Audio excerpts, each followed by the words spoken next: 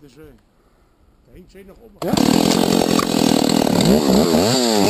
Ja?